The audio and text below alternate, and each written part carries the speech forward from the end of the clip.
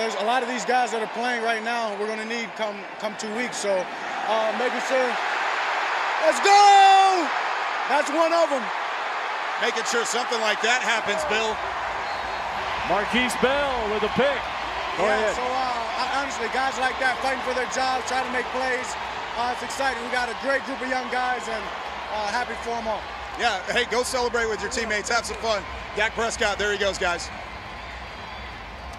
You know, that's one of the things. That's one of the things that, that we talked about last night at the event. Jerry talked about. Like this is the drafted free agent, as you mentioned, Bill, Florida A&M. But he, he has had a heck of a camp.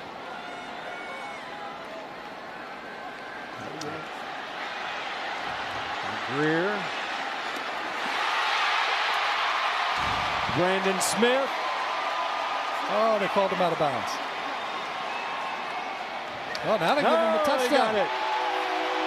The officials over there confirmed. Our first official over on the sideline said, no, no, no. They'll